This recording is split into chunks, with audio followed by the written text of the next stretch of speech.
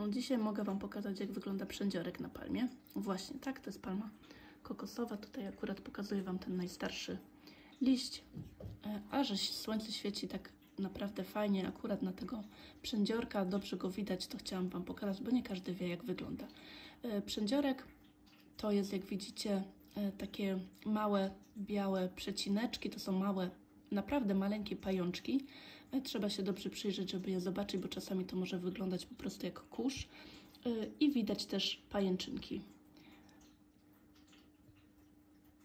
Nie wiem, czy te pajęczynki tu będzie dobrze, em, będę Wam mogła dobrze pokazać, bo naprawdę to jest, e, to są cieniutkie niteczki. W każdym razie e, właśnie tak to, tak to wygląda. Przędziorek lubi się rozwijać, kiedy jest suche powietrze, kiedy jest ciepło, czyli właśnie w sezonie grzewczym, e, kiedy grzejemy grzejnikami. Tutaj u mnie w salonie jest około 43%.